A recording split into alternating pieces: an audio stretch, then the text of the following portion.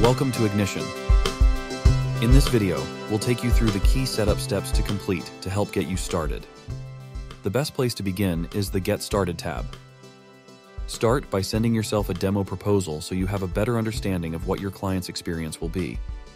Then add your branding so your clients will receive proposals that display your brand colors and logo. Learn about managing client billing including how to raise and reschedule invoices and edit active services after your client accepts a proposal. Connect your accounting software to sync client data and free up your time by automating invoicing. Review terms templates.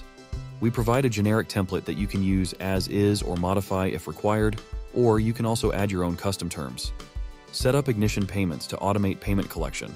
This will help to secure your future cash flow and stop you from spending your time chasing overdue invoices and create a proposal with a little additional guidance from us.